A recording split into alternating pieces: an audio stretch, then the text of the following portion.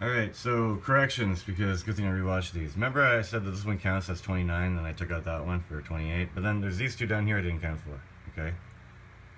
Makes sense. But I counted this one and I counted this one, but they're already used. They're already accounted for in the creation of the right hand. So these two don't kind of count, and these two do kind of count.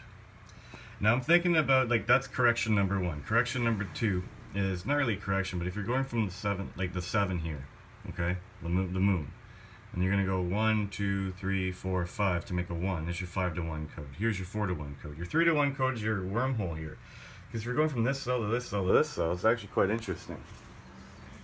You're going from here to here to here. Now what is that? That is 822. That is 922. That is 992. That is 996. And there's three things. It's 997, 998, 999.